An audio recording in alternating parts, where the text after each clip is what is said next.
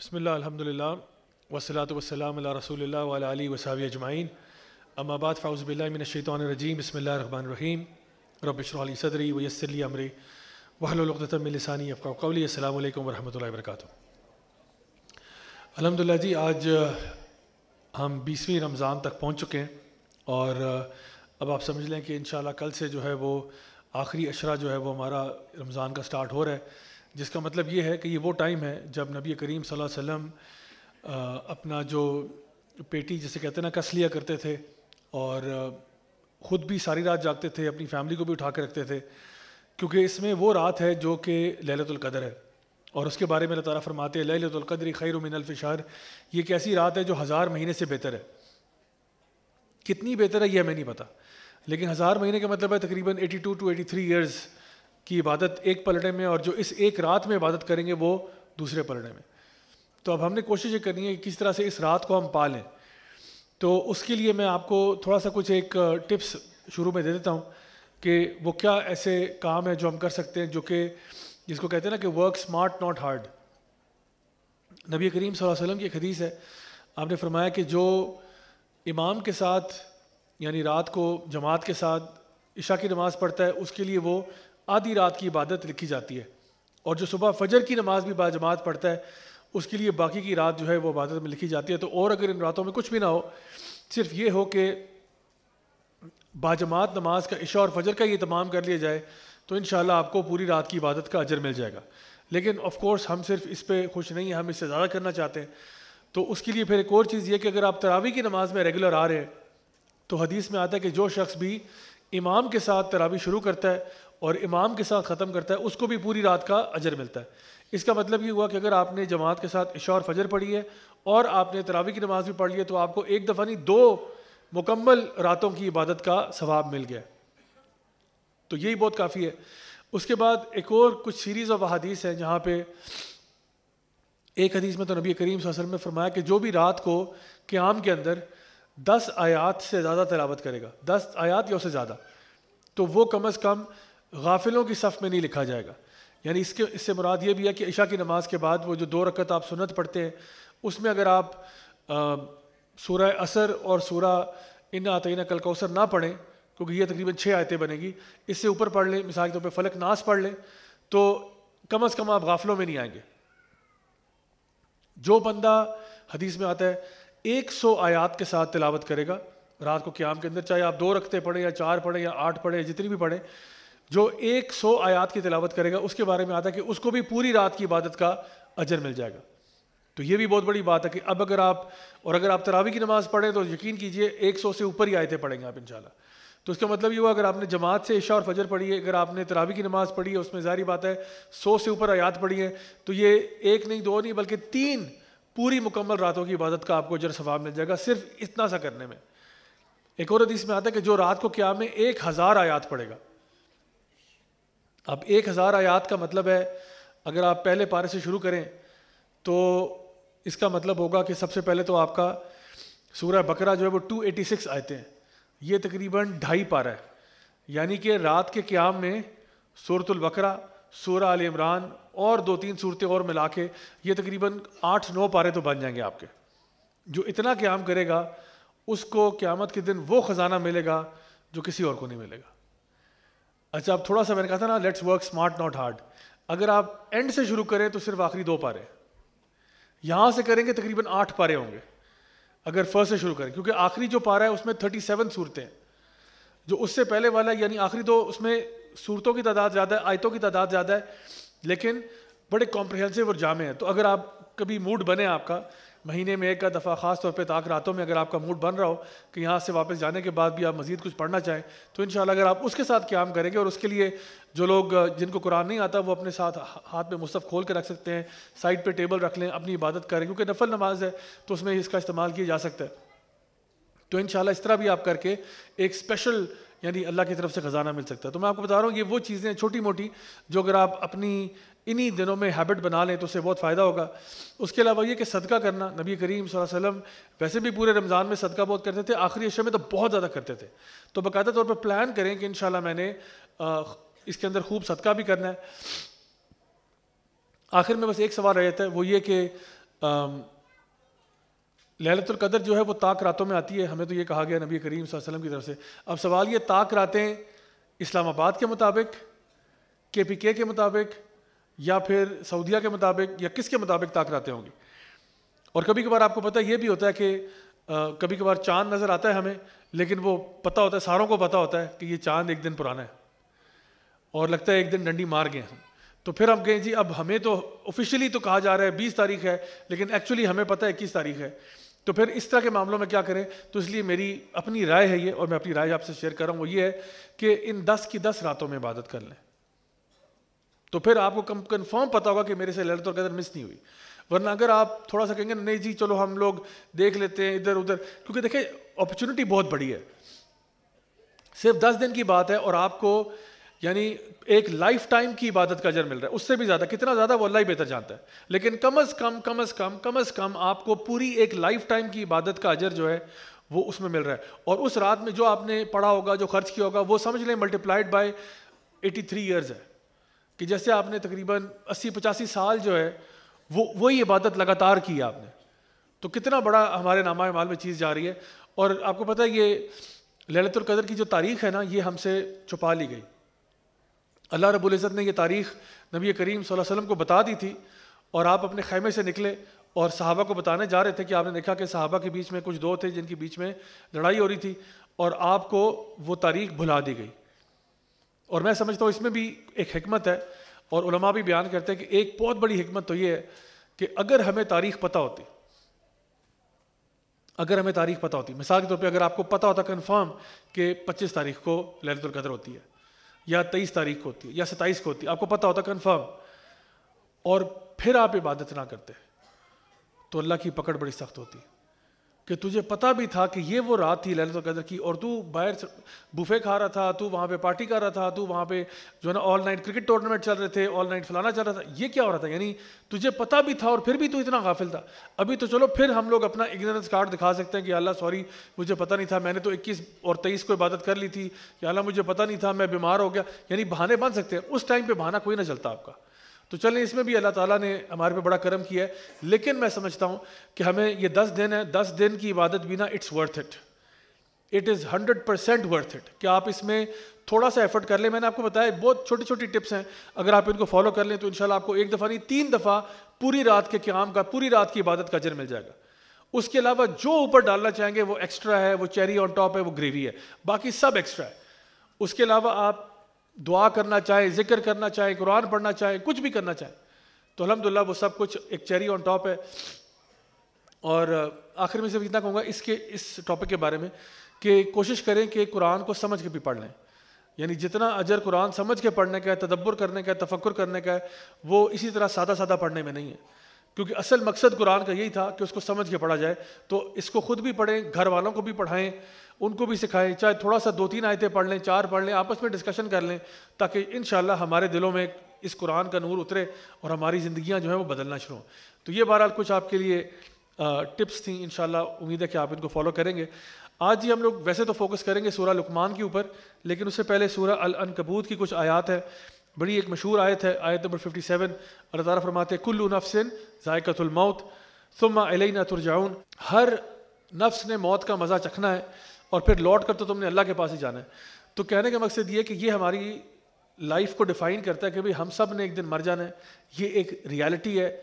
We all have to die. جس طرح ابھی آپ کو یقین ہے اس بات کا کہ میں آپ کے سامنے یہاں بیٹھا ہوں، اسی طرح سے یقین ہونا چاہیے کہ ایک دن ہم لوگ یہاں نہیں ہوں گے۔ اگر میں ایک اندازے سے یہ بات کہوں کہ آج سے سو سال کے بعد، آج سے پورے سو سال کے بعد جتنے بھی لوگ اس وقت اس مارکی میں ہیں نا، کوئی بھی زمین کے اوپر نہیں ہوگا سب زمین کے نیچے ہوں گے۔ ارد گرد اپنی نا ایک دوسرے کی شکلیں دیکھ لیں یہ جو ابھی آپ کو چہرے نظر آ رہے ہیں نا، صرف سو سال کی بات ہے۔ زمین کے اوپر کوئی نہیں ہوگا۔ کلو نفسن ذائقۃ الموت، ہر نفس نے موت کا مزہ چکھنا ہے۔ پھر کیا ہوگا؟ پھر اللہ تعالیٰ پوچھے گا کہ بھئی تو نے یہاں پہ زندگی کیسے گزاری؟ رمضان بھی آئے، چلے بھی گئے، حالات، واقعات، بہت سارے معاملے لیکن تو نے کیا کیا؟ تو یہ بتا، تو اس دنیا میں اتنے عرصے کے لیے آیا تھا، کون سے تو نے اعمال کیے تھے جو آج تو لے کے آیا اللہ کی بارگاہ میں پیش کرنے کے لیے؟ تو پہلی بات تو یہ، دوسرا تعالیٰ فرماتے ہیں یہیں پہ سورہ علن کبوت کی آیت نمبر 59 میں اللہ زینہ صبر و اللہ رب یا توکلون وہ لوگ جو کہ صبر کرتے ہیں اور اللہ تعالیٰ پر توکل کرتے ہیں، یہی اصل میں وہ لوگ ہیں جو کامیاب ہوں گے۔ یعنی یہ پوری زندگی صبر اور تحمل سے گزار دیتے ہیں۔ جب مشکل آتی ہے، اس پہ صبر کرتے ہیں، جب خوشی کا موقع آتا ہے، اس پہ شکر کرتے ہیں۔ پوری زندگی اسی صبر اور شکر میں گزار دیتے ہیں۔ ایونچولی تمہاری جانے ساروں نے۔ لیکن کیا یہ اچھا ہوگا کہ ہم اپنی زندگیوں کو صبر کے ساتھ گزاریں اور جو اللہ کی نعمتیں ہمیں ملی ہیں، ان پہ اللہ کا شکر ادا کریں۔ تو یہ ہماری لائف کا ٹوٹل کرکس ہے جو یہاں پہ سورہ العنکبوت کے اندر بیان کیا گیا۔ ہے اب آتے ہیں جی سورہ لکمان کی طرف۔ سورہ لکمان کے اندر سیدنا لکمان جو ہے جو ایک نبی نہیں تھے، کوئی رسول نہیں تھے۔ بلکہ صحابہ فرماتے ہیں وہ کیا تھے؟ رجل الصالح ایک نیک اور صالح آدمی تھے، بڑے نالجبل تھے، بڑے انٹیلیجنٹ تھے۔ لکمان حکیم ان کو کہا جاتا ہے، بہت انٹیلیجنٹ آدمی تھے اور اللہ تعالیٰ فرماتے ہیں کہ ہم نے لکمان کو حکمت عطا فرمائی۔ تو سیدنا لکمان جو ہے وہ اب اپنے بیٹے کی تربیت کر رہے ہیں۔ اب اس میں پتہ چل رہا ہے کہ وہ کیا کوالٹیز ہیں، وہ کیا طریقہ کار ہے جس طرح بچوں کی تربیت ہونی چاہیے۔ تو ہمارے لیے یہ آج کی جو ڈیجیٹل جنریشن ہے، اس کو تربیت کرنے میں بھی انشاءاللہ ہمارے لیے بڑے لیسنز ہیں۔ کہ وہ پرائرٹائزیشن کہاں ہونی چاہیے۔ تو اللہ تعالیٰ فرماتے ہیں وہ اسقال لقمان لی ہی وہ ہوا یا عز ہو یا بنی لا تو شرک بلّہ ان نہ شرک ظلم نظیم تو سب سے پہلی بات جو سیدنا لقمان اپنے بیٹے کو بتا رہے ہیں، وہ بڑے پیار سے بتا رہے ہیں، محبت سے بتا رہے ہیں، وفاظ و نصیحت کرتے ہوئے بتا رہے ہیں۔ یہ نہیں کہ جی اس کو جوتے مار رہے تھے، یا اس کو ڈانٹتے ہوئے کہا، یا اس کے اوپر چلاتے ہوئے کہا، یا اس کو گالیاں نکالتے ہوئے کہا، نہیں۔ پیار سے کہا یا بنی میرے پیارے بیٹے، میرے پیارے بیٹے، اور نصیحت کرتے ہوئے کہا کہ بیٹا اللہ تو شرک باللہ، اللہ کے ساتھ کسی کو شریک نہ کرنا کبھی۔ کیوں نہیں کرنا؟ ساتھ ریزن بھی بتا رہے نا۔ ان شرک اللہ ظلم عظیم کیونکہ شرک جو ہے وہ سب سے بڑا ظلم ہے جو دنیا میں ہو رہا ہے۔ اب دیکھیں، یہاں پہ ایک حکمت کیا ہے؟ چیز بھی بتائی کیا کرنی ہے اور اس کی وجہ بھی بتا دی ہے۔ عام طور پہ کیا ہوتا ہے؟ ہمارے سے بچے کچھ پوچھتے ہیں نا کہ جی ہم کہتے ہیں، جاؤ جا کے یہ کام کرو۔ کہتے ہیں، کیوں؟ کیوں؟ تو امی کہتی ہیں، میں بتاؤں کیوں؟ میں بتاؤں؟ کہتے نہیں، نہ بتائے. یا پھر ہوتا ہے کہ میں تمہاری ماں ہوں اس لیے۔ یعنی ریزن کیا ہے کہ بیٹا، جا کے کام کرو۔ کیوں کروں امی جی؟ کیونکہ میں تمہاری ماں ہوں۔ تو اللہ تعالیٰ بھی یہ کہہ سکتے تھے کہ بھئی ہمیں کوئی حکم دیتے اور کہتے ہیں، میں اللہ ہوں اس لیے کہہ رہا ہوں۔ لیکن ایون اللہ تعالیٰ بھی بتا رہے ہیں عقیم صلاح تعالی ذکری نماز قائم کرو تاکہ تم مجھے یاد رکھ سکو۔ ان صلاح تنہا ان الفاشا اول منکر ولا ذکر اللہ اکبر یقیناً نماز تمہیں فاشی اور منکر سے بچائے گی۔ اللہ تعالیٰ بتا رہے ہیں ریزن اللہ کو کوئی ضرورت نہیں ہے آپ کو ریزن دینے کی۔ اللہ تعالیٰ کہیں بس کر، تو بندہ ہے یا تو اللہ ہے؟ تو بندہ ہے، تو کام کر۔ میرے سے پوچھ رہے ہو کہ بھائی میں تمہیں بتاؤں کیوں؟ اللہ کے اللہ بھی بتا رہے ہیں۔ روزے کے بارے میں اللہ تعالیٰ نے فرمایا، یا یو الزین امن کتب علیکم السیام کما کتب الزین من قبلکم لعلکم تتقون۔ اے ایمان والو، تم پہ روزے فرض کیے گئے جیسے تم سے پہلوں پہ کیے گئے تھے۔ کیوں؟ تاکہ تمہارے اندر بھی تقوی آ جائے۔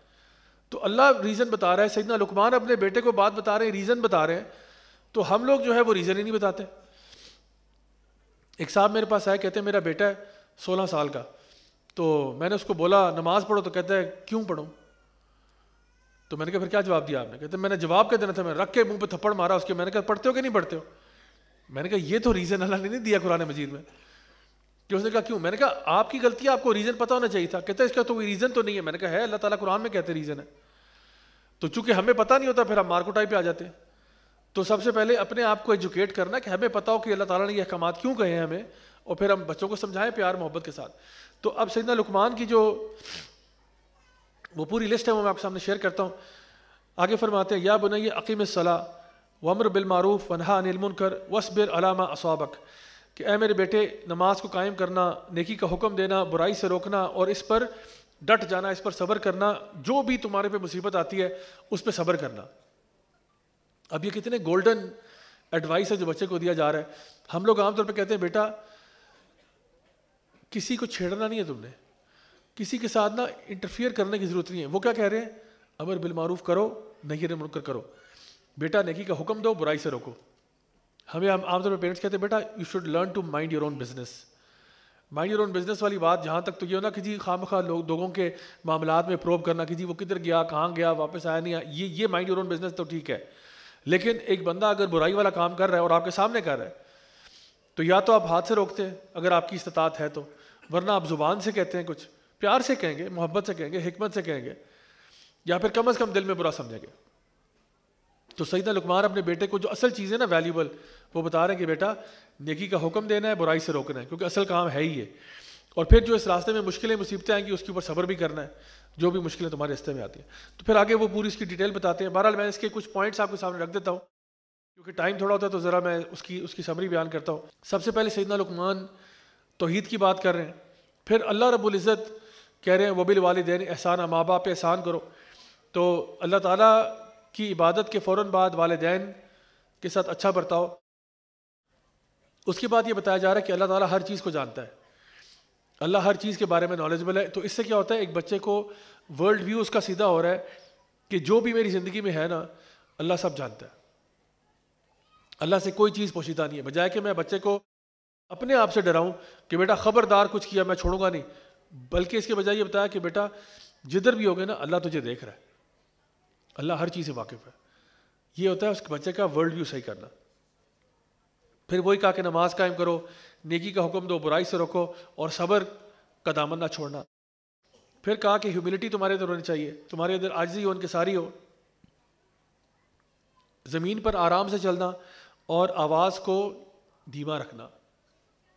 اور گدے کی آواز کے بارے میں بتایا گیا کہ وہ جو آواز ہے وہ بدترین ہوتی ہے۔ یعنی کہ وہ لوگ جو بہت شیخی خورے ٹائپ ہوتے ہیں، بہت تکبر والے ہوتے ہیں، اس طرح کا مت بننا۔ اچھا اب میں آپ کے سامنے کچھ چیزیں یہاں بیان کرتا ہوں، انشاءاللہ اس سے امید ہے کہ سبھی کو فائدہ ہوگا۔ بچوں کی تربیت میں یہ چھ پوائنٹس ہیں جن کا خیال رکھنا بہت ضروری ہے۔ سب سے پہلے اس میں آتا ہے آپ کی ایموشنل ریلیشن شپ بچوں کے ساتھ۔ یعنی کہ بچوں کو سب سے پہلے جب بچے تقریباً سات سال تک ہوتے ہیں، خوب پیار دیں، خوب محبت دیں ان کو۔ تاکہ ایک اچھا ریلیشن شپ آپ کا بچوں کے ساتھ بن جائے۔ یہ سمجھ لیں کہ جو بیسک بلڈنگ بلاک ہے وہ محبت کا ہے۔ بچے کو اس بات کا یقین ہو جائے کہ میرا باپ یا میری ماں مجھ سے محبت کرتے ہیں۔ اس کے اوپر پھر آپ نے عقیدے کی لیر ڈالنی ہے۔ لا تو شرک بلّہ والی، کہ بیٹا اب پہلے محبت ہے نا، یا بنیا پہلے ہے۔ میرے پیارے بیٹے، میرے اچھے بیٹے، یہ بات پہلے ہے، محبت پہلے ہے، اس کے بعد کیا ہے؟ لا تو شرک بلّہ اللہ کے ساتھ شرک نہیں کرنا۔ دیکھو، اللہ ہر وقت تمہیں دیکھتا ہے۔ اللہ السمیع ہے، البصیر ہے۔ یہ اس کے اوپر لیئر آتی ہے۔ دیکھیں لیئرنگ اگر اوپر نیچے ہو جائے گی نا بلڈنگ کلیپس کر جائے گی۔ کیونکہ فاؤنڈیشن ہی اسٹرانگ نہیں ہے۔ تو فاؤنڈیشن اسٹرانگ کے لیے پہلے محبت کی لیئر ہے، اس کے اوپر عقیدے کی لیئر ہے، اس کے اوپر پھر مینرز ہے بیٹا، بڑوں سے تمیز سے بات کرتے ہیں۔ ماں باپ کی عزت کرو وہ بل والدین احسانہ۔ ماں باپ ماں باپ ہوتے ہیں، ماں باپ تمہارے دوست نہیں ہیں، ماں باپ تمہارے بڑی نہیں ہیں۔ ماں باپ تمہارے گلی محلے کے یار نہیں ہیں، ماں باپ تمہارے ماں باپ ہیں، ٹھیک ہے؟ پیار تمہارے سے بہت ہے بیٹا، لیکن ماں باپ کا ایک رسپیکٹ ہوتی ہے۔ تو بیٹا، ماں باپ سے یوں بات کرتے ہیں، دادی دادا سے یوں بات کرتے ہیں، نانی نانا سے اس طرح سے بات کرتے ہیں، جب کوئی بڑا آتا ہے سلام کرتے ہیں، وغیرہ وغیرہ۔ پھر ہے مینرز کی لیئر ہے۔ بیٹا، دائیں ہاتھ سے کھاتے ہیں، ایسے اس طرح نہ کیا کرو۔ یعنی وہ اب ڈسپلننگ کی رہے اور یہ سیون ایئرس کے بعد زیادہ ایکٹیولی آپ اس کو پرسو کرتے ہیں، کیونکہ اس سے پہلے بچے بہت چھوٹے ہوتے ہیں اور وہ امیٹیشن سے ہی سیکھ جاتے ہیں۔ آپ آپ کو ان کو پڑھانے کی ضرورت نہیں ہے، بچہ آپ کو کاپی کرنا شروع کرے گا۔ آپ اگر ایک خاص طریقے سے بہیو کریں گے، بچہ بھی اسی طرح سے کاپی کرے گا آپ کو۔ گھر میں اگر گالی گلوچ ہو رہا ہے، تو آپ کو کیا لگتا ہے، بچہ جو ہے وہ اس کے منہ سے پھول جڑیں گے؟ اس نے یہی چیزیں کاپی کر کے دوسروں کو سنانی ہے تو اس لیے ہم نے سب سے پہلے ایز پیرنٹس ہم نے خود سب سے پہلے چیزوں کو اڈاپٹ کرنا ہوتا ہے۔ پھر چوتھی لیئر جو ہے وہ ورشپ کی ہے۔ اب عبادت ہے۔ سیون ایئرس کی ایج میں آہستہ آہستہ بچوں کو کا موڈ بنانا شروع کریں، عبادت کی طرف۔ دس سال کی عمر تک اب کہیں بچے، اب عبادت کمپلسری ہو گئی اب تو انہیں پڑھنا ہی پڑھنا ہے۔ اور اس پہ تھوڑی سی کھینچا تانی ہو سکتی ہے، کیونکہ عام طور پہ کیا ہوتا ہے، ہم بچوں کو سزا دیتے ہیں ان چیزوں پہ جو خطا ہوتی ہے۔ گناہ نہیں ہوتا۔ بچے نے جی پھسل کیا، گلاس توڑ دیا آپ کا۔ تو اس پہ اب بچے کی چترول ہو رہی ہے۔ بنتی نہیں ہے تو نہیں سمجھ آئی اس کی۔ آپ کی کوئی خاص کوئی پلیٹیں توڑ دی اس بچے نے غلطی سے؟ حالانکہ وہ جان بوجھ نہیں توڑی، کہیں لے کے جا رہا تھا، پھسل کیا بیچارہ۔ اس پہ اس کی پٹائی ہوگی، لیکن نمازوں کی نمازیں چھوٹ رہی ہیں، اس پہ پوچھنے والی کوئی نہیں ہے۔ رمضان کے روزے چھوڑے ہوئے حالانکہ اس کی عمر ہو چکی ہے کہ روزے رکھنے والی، لیکن نہیں رکھ رہا۔ تو اس پہ چھوڑا ہوا کہ نہیں، وہ اسٹڈیز میں حرج ہوتا ہے۔ تو ایسا نہیں ہونا چاہیے۔ تو یہاں پہ بتایا جا رہا ہے کہ چوتھے نمبر پہ کیا ہے؟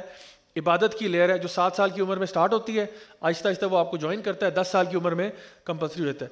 ففتھ پوائنٹ ہے سیکشول ڈیولپمنٹ کو ڈسپلن کرنا۔ اب آپ کہیں گے، یہ کہاں سے مضمون مان گیا؟ یہ بالکل ہمارے قرآن کا مضمون ہے۔ ہمیں کہا کہ دس سال کی عمر میں نا بچوں کے بسترے علیحدہ کر دو۔ اس کے پیچھے بہت ساری حکمتیں ہیں کہ بچوں کے بسترے علیحدہ کیوں کرنے ہیں؟ کہ تاکہ بچے سپریٹ بیڈز میں ہیں، یا کم از کم علماء کہتے ہیں کہ سپریٹ اگر بیڈز نہیں ہیں، تو کم از کم کمبل ان کے سپریٹ ہونے چاہیے۔ کہ رات کو اگر دو بھائی ہیں یا بہنیں ہیں یا بہن بھائی ہیں، جو بھی ہیں، آپ کو پتہ ہے، بندہ اپنے حالت کو کنٹرول نہیں کر سکتا رات کو سوتے وقت، تو کسی کی چادر اترے، کوئی ایسی چیز آپ دیکھ لیں جو آپ کو دیکھنی نہیں چاہیے تھی۔ تو اس سے بچانے کے لیے نا بچوں کو یہ کہا گیا کہ جی آپ ان کے بیڈ کو سپریٹ کریں۔ پھر وہ جو سورہ حجرات میں ایٹیکٹس بتائے گئے ہیں کہ جب بچہ پیرنٹس کے بیڈ روم میں آتا ہے، عشاء کی نماز کے بعد اگر آتا ہے نوک کر کے آئے، فجر سے پہلے کسی ٹائم پہ آتا ہے نوک کر کے آئے، دوپہر کے ٹائم جو ٹائم کے لولا کا ہوتا ہے نوک کر کے آئے، کیوں؟ کیونکہ یہ وہ ٹائم ہوتا ہے جس میں آپ اپنا ڈریس کوڈ تھوڑا سا ریلیکس کر دیتے ہیں۔ اپنے بیڈ روم میں آپ ریلیکس کر رہے ہیں، ماں ریلیکس کر رہی ہے، باپ ریلیکس کر رہے ہیں بچوں کا ہے، اب آپ نوک کر کے آئے۔ ایسی بات دھڑل سے کمرے میں گھسنا نہیں آم ہے تو یہ ایٹیکیٹس ہیں مینرز ہیں اور اس میں ان کو ڈسپلن کیا جا رہا ہے کہ کہیں بچہ غلطی سے بھی کوئی چیز نہ دیکھ لے جو اس کو سیکچولی پرووک کر سکتی ہے۔ تو یہ تو چلیں، ہو گیا جی بیڈ روم میں نوک کر کے آئے جو ہے نا بستر سپریٹ کر لیا۔ نیٹ فلکس پہ البتہ بچہ جو مرضی دیکھ لے۔ ایسا ہی ہے۔ نہیں ایسا۔ یہ آپ نے کہا جی ہم نے جی ماشاء اللہ بچوں کے بستر دس سال کی عمر میں علیحدہ کر دیے۔ بچے ہمارے اتنے ڈسپلن ہے کمرے میں آتے ہیں نوک کر کے آتے ہیں۔ البتہ نیٹ فلکس کی ایکسیس ان کو فل دی ہوئی ہے، جو مرضی دیکھتے ہیں اس پہ۔ تو اس کا مطلب ہے کہ آپ اسلام کی روح کوئی نہیں سمجھے۔ جس چیز سے منع کیا جا رہا تھا وہ تھا کہ غلطی سے، ان طرح کی چیزوں سے کوئی بھی ایسی چیز جو نازیبا ہے، اس پہ ان کی نظر نہ پڑ جائے۔ ٹی وی روم میں جی میگزین پڑھے ہوئے اس میں سب کچھ سب کچھ ڈسپلے ہوا ہوا ہے۔ تو اس چیزوں کا ہم نے خیال کرنا ہے۔ تو ان کی سیکشول ڈیولپمنٹ جو ہے نا، اس کو ہم نے کیٹر کرنا ہے۔ اور چھٹا پوائنٹ کیا ہے کہ اس کو ہم لوگوں نے سوشل رولز اور رسپانسبلٹیز میں لے کے آنا ہے۔ یعنی کہ امر بالمعروف نہیں منکر جو ہے وہ کرنا۔ بچوں کو بتانا کہ بیٹا، تم نے صرف اپنے خیال نہیں رکھنا، آپ نے سب کا خیال کرنا ہے۔ آپ نے نیکی کا حکم دینا ہے، آپ نے برائی سے روکنا یہ بیٹا، آپ کام کریں گے۔ تو اس کو اس پہ موٹیویٹ کرنا، اس پہ انکریج کرنا کہ وہ صرف اپنے بارے میں نہ سوچے، بلکہ اپنے ارد گرد بھی سوچے۔ اس کو یعنی کہ فار ایگزامپل بیٹا ہے مسجد لے کے جانا، جس طرح آپ لوگ یہاں پہ آتے ہو، ماشاء اللہ تراوی پہ فیملیوں کو ساتھ لے کے آتے ہو یعنی اس طرح کی انوائرمنٹ پرووائڈ کرنا۔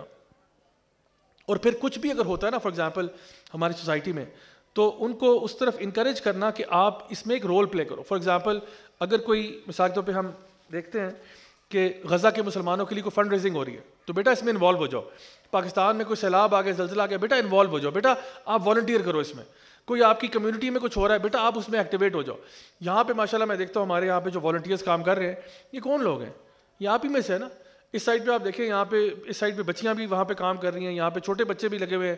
کتنے کتنے والنٹیئرس بنے ہوئے ہیں؟ ان کے ماں باپ کو آئیڈیا ہوا کہ بھائی ہم نے اپنے بچوں کو انوالو کرنا ہے۔ بیٹا تم خدمتوں میں لگ جاؤ۔ امیجن کریں جب یہ بڑے ہوں گے تو پھر ان کے گولز اور ایمبیشن بھی بڑے ہوں گے۔ یہ ہمیشہ دینے والے بنیں گے، لینے والے نہیں ہوں گے۔ یہ ہمیشہ یہ کہیں گے کہ بھائی میں کیا کر سکتا ہوں آپ کے لیے؟ یہ نہیں کہ جی میرے ملک نے میرے لیے کیا کیا، آپ نے میرے لیے کیا کیا، فلان، چھوڑو پڑے وہ آپ کو کریں نہ کریں، اور بات ہے آپ دینے والے بنو۔ آپ یہ کو میں اس ملک کے لیے کیا کر سکتا ہوں؟ میں اپنے بہن بھائیوں کے لیے کیا کر سکتا ہوں؟ میں کیا خدمت کر سکتا ہوں؟ کیونکہ میں نے تو اپنی جنت کا راستہ سیدھا کرنا ہے۔ تو یہ وہ چیزیں ہیں جو کہ ہم نے بچوں کو جس پہ بلڈ کرنا ہے۔ یاد رکھیے گا کہ بحثیت پیرنٹس، آپ شپرڈز ہیں، انجینئرز نہیں ہیں۔ آپ نے بچوں کی انجینئرنگ نہیں کرنی۔ کہ جی میرا بچہ جو ہے نا، میرے پاس اکثر پیرنٹس آتے ہیں، کہتے ہیں جی یہ ہمارا بچہ ہے، اس کو ٹھیک کر دیں۔ میری کوئی مکینک کی دکان ہے؟ کدھر آؤ بیٹا یہاں لیٹو، اس کو ذرا پلاس کلاس لگایا، کوئی اس کو اسکرو شرو ٹائٹ کیے کہ جی اب بچہ ٹھیک ہو گیا، اس کو لے جائے۔ ایک خاتون میرے پاس آئی، کہتی ہیں یہ میرے ہسبینڈ ہے۔ میں کہ جی السلام علیکم، کیسے ہیں؟ کہتی ہیں ان کو ٹھیک کر دیں ذرا۔ میں نے کہا، بچے مجھ سے ٹھیک نہیں ہوئے تو ہسبینڈ کیسے ٹھیک ہوں گے؟ ان کو تو اللہ ہی ٹھیک کرے گا۔ ہاں ہم لوگ واض و نصیحت کر سکتے ہیں۔ ایڈوائز کر سکتے ہیں، اللہ یا دی معیشہ ہدایت تو اللہ ہی دیتا ہے. ہمارا کام ہے بس وہ کچھ اچھی باتیں کر دینا. تو ٹھیک کر دینا ہمارے اختیار میں ہی نہیں.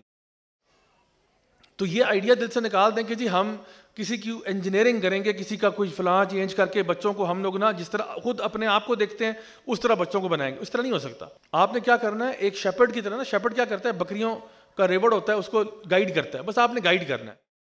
جیسے پودے انسان لگاتا ہے نا تو کیا کرتا ہے؟ پودوں کو بھی گائیڈ کرتا ہے۔ پانی ڈالتا ہے، اس کو اگر جو ہے نا پودا لیفٹ رائٹ ہو رہا ہے، اس کو جو ہے نا سیدھا کر دیتا ہے، وہ پھر اس اس ڈائریکشن میں گرو کرتا ہے۔ تو ہم بس گائیڈ ہی کر سکتے ہیں۔ باقی سب اللہ کے ہاتھ۔ میں کل میں نے آپ کو مثال دی تھی کہ نو علیہ السلام کا بیٹا نہیں ہوا نا گائیڈ پہ یعقوب علیہ السلام کے دس بیٹے جو ہیں، انہوں نے اپنے بھائی یوسف کا مرڈر پلاٹ پلان اور ایگزیکیوٹ بھی کر دیا۔ آدم علیہ السلام کا بیٹا کابیل نے حابیل کا قتل کر دیا۔ تو کبھی کبھار ہوتا ہے کہ despite your best efforts your kids don't turn out the way you expected them to be Lut علیہ السلام کا واقعہ بھی اس پچھلی سورہ میں گزرا ہے۔ لوت علیہ السلام کو اللہ تعالیٰ نے کہا کہ آپ یہاں سے نکلیں، اپنی بچیوں کو لے کے آپ کی بیوی البتہ جو ہے وہ اسی عذاب میں پکڑی جائے گی۔ یہ بڑا مشکل کام ہوتا ہے کہ آپ کو پتہ چلے کہ آپ کی بیوی قربان ہو رہی ہے۔ یا آپ کا بچہ قربان ہو رہا ہے، جس کے ساتھ آپ نے پوری زندگی گزاری ہے، تو پتہ چل رہا ہے ہماری اصل الائنسز کہاں پہ ہیں۔ تو ہم نے بچوں کے ساتھ یہ معاملہ کرنا ہے۔ پھر ایک چیز ہے کہ ایک عادت بنائیں کہ بچوں کے لیول پہ بات کرنا، بچوں کو ٹاک ڈاؤن والی بات نہیں ہے۔ ہاں بچوں کو پتہ ہو یہ ہمارے ماں باپ ہیں، یہ ہمارے سے بہت کیئر کرتے ہیں، لیکن بچوں کے لیول پہ بات کرنا تاکہ وہ اوپنلی آپ کے ساتھ شیئر کریں۔ اکثر بچے یہ کہتے ہیں کہ جی ہمارے پیرنٹس ہمیں انڈرسٹینڈ نہیں کرتے کہ بات کرنے سے پہلے جو ہے وہ فتویٰ لگ جاتا ہے ہمارے اوپر۔ یا پھر بچے یہ کہتے ہیں کہ ہمارے پیرنٹس اوور ریئیکٹ بہت کرتے ہیں۔ یعنی کہ ہم اگر ایک بات کریں گے نا کہ ابو وہ ایسے ہو گیا تو ابو نے ایک دم سے ایٹم بم پھاڑ دینا ہے۔ تو پھر ہم بتاتے ہی نہیں ہیں پھر۔ پھر یہ ہم اپنے دوست سے بات کر لیتے ہیں۔ تو اگر دوستوں سے باتیں کریں گے تو پھر ظاہری بات ہے، ان کو وہ پازیٹیو جو ایجوکیشن ملنی تھی وہ نہیں ان کو مل پائے گی۔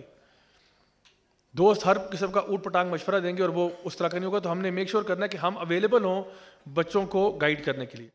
لاسٹ بٹ ناٹ لیسٹ میں بات کا اختتام کروں گا۔ اس نوجوان لڑکے سے جو نبی کریم صلی اللہ علیہ وسلم کے پاس آیا اور اس نے کہا، یا رسول اللہ، مجھے زنا کی اجازت دیتے ہیں آپ۔ اب صحابہ بھی بیٹھے ہوئے سوال دیکھیں، آج کوئی لڑکا جائے نا کسی امام صاحب کے پاس اور کہ امام صاحب، ذرا مجھے اجازت دے دیں زنا کرنے کی۔ تو پھر کیا ہوگا اس کے ساتھ؟ وہ جس عورت کی کمیز پہ حلوہ لکھا تھا اس کو نہیں چھوڑا، تو یہ تو خود اوپنلی کہہ رہا ہے، مجھے آپ زنا کی اجازت دیں۔ اور مسجد میں آ کے کہہ رہا ہے۔ گستاخی کی کالم چیک کریں ذرا۔ نبی کریم صلی اللہ علیہ وسلم نے کہا کہ صحابہ سارے اٹھ گئے نا اس کو نکالنے کے لیے باہر۔ نبی نے کہا، چھوڑ دو اس کو، چھوڑ دو، کوئی بات نہیں۔ ادھر آؤ بیٹا، پاس بلایا۔ اتنے قریب بٹھا لیا کہ آپ صلی اللہ علیہ وسلم کے جو گھٹنے وہ اس کے گھٹنوں کے ساتھ ٹچ کر رہے تھے۔ بالکل قریب بٹھا لیا۔ اس کا ہاتھ بھی پکڑ لیا۔ کہا اچھا مجھے یہ بتاؤ چلو میں تمہیں اجازت اگر دے دیتا ہوں۔ تو ظاہری بات ہے تمہیں ایکسکلوسو تو نہیں ملے گا نا، سب کو دینی پڑے گی۔ اس نے کہا ہاں سب کو دینی پڑے گی۔ ظاہری بات ہے، میرے لیے کوئی ایکسیپشنل کیس تو نہیں ہوگا نا کہ صرف تمہیں اجازت مل رہی ہے زنا کی، باقی کسی کو نہیں سب کو دینی پڑے گی۔ جی سب کو دینی پڑے گی۔ تو نے کہا، اس میں پھر اگر تمہاری ماں کو بھی اجازت دے دوں تو ٹھیک ہے۔ اس نے کہا، یا رسول اللہ، میرے ماں باپ قربان ہوں آپ پہ، میں کبھی یہ نہیں چاہوں گا۔ انہوں نے کہا اچھا تمہاری بہن کو اجازت دے دوں؟ انہوں نے کہا، نہیں، یا رسول اللہ، میرے ماں باپ قربان جائیں، میری بہن کو بھی اجازت نہیں ملنی چاہیے۔ اچھا تمہاری پھپھو کو دے دوں؟ نہیں نہیں پھپھو کو بھی نہیں دینی، خالہ کو دے دوں، نہیں، چاچی کو دے دوں، نہیں، مامی کو دے دوں یعنی آپ نے گھر کی عورتیں ساری گنوا دی اس کو۔ تو پھر وہ کہتا ہے، یا رسول اللہ، میرے ماں باپ قربان جائیں، میں کسی کے لیے نہیں چاہوں گا کہ اس کو ملے۔ تو نبی نے فرمایا کہ دیکھو بیٹا، اگر کسی اور کے لیے نہیں چاہتے تو اپنے لیے پھر کیوں چاہ رہے ہو؟ آپ نے اس کو گلے لگایا، اس کے لیے دعا کی کہ اللہ اس کو اپنی شہوت پہ کنٹرول کرنے کی توفیق عطا فرما۔ اور صحابہ فرماتے ہیں اس کے بعد وہ کبھی اس سے کوئی ایسی غلطی کو تائی بات ہی نہیں کبھی ہوئی اس سے۔ یعنی نصیحت کرنے کا طریقہ کیا ہے؟ تو اگر ہمارے بچے ہمارے پاس ہی آتے ہیں اور کوئی ایسی آؤٹریجس سی بات بھی کہہ دیتے ہیں، تو مسئلہ حل کرنا ہے ہم نے۔ ہم نے بچوں کو بھگانا نہیں ہے اپنے سے۔ ہم نے لانگ ٹرم گیم کھیلنی ہے۔ یعقوب علیہ السلام کے پاس جب بیٹے آئے نا اور انہوں نے کہا کہ جی یوسف کو تو بھیڑیا کھا گئے۔ یعقوب علیہ السلام نے یہ نہیں کہا کہ دفعہ ہو جو میری نظروں سے، آئندہ منہ نہ دکھانا مجھے۔ آپ نے کہا، میں صبر جمیل کروں گا۔ اور آپ جڑے رہے نا ان کے ساتھ۔ ایونچولی کوئی پچیس تیس سال کے بعد بچے ٹریک پہ آ گئے۔ پچیس تیس سال کے بعد، صبر کی انتہا دیکھیں ذرا۔ کیونکہ یعقوب علیہ السلام کو پتا تھا کہ یہ مس گائڈ ہو چکے ہیں۔ لیکن گائیڈنس ان کو میرے سے ہی ملے گی۔ اور ایسا ہی ہوا۔ تو اس لیے ہم نے اپنے بچوں کو اپنے سے قریب کرنا ہے، اپنے سے دور نہیں کرنا۔ یہ اللہ تعالیٰ کی طرف سے ہمیں امانت ملی ہوئی ہے اور اللہ تعالیٰ ہمارے سے اس امانت کے بارے میں پوچھے گا کہ میں نے تجھے یہ بچے عارضی طور پہ دیے تھے، دیکھنے کے لیے کہ تو ان کو کیسے پالتا ہے۔ اب بتا تو نے ان کے ساتھ کیا معاملہ کیا۔ تو میری دعا کہ اللہ تعالیٰ ہم سب کو صحیح طریقے سے دین پر عمل کرنے کی توفیق عطا فرمائے اور ہمارے گھروں کو قرآن کے نور سے منور فرمائے۔